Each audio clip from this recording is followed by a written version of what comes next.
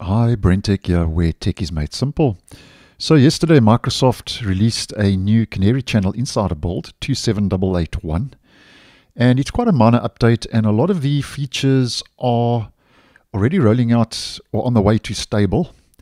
But nonetheless, just to keep you guys posted, and I'm just going to skim over the highlights for the purpose of this video. Now, the first new feature for the Canary channel with build 27881 is a profanity filter toggle for voice typing, where you can now choose whether voice typing filters profanity. So you would just press Win and H, click the settings icon, and you'll see a new filter profanity toggle, as we can see. And you can turn it off, and Windows will stop censoring your speech input.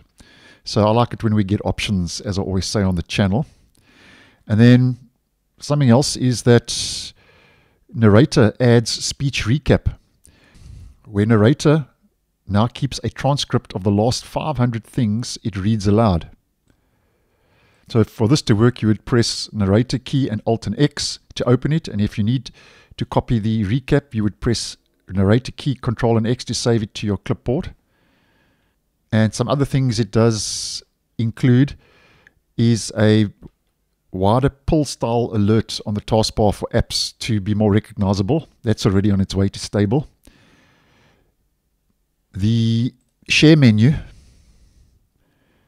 has also been improved so you can now right click a file and choose share with. This has already made its way into stable to uh, send it directly to supported apps.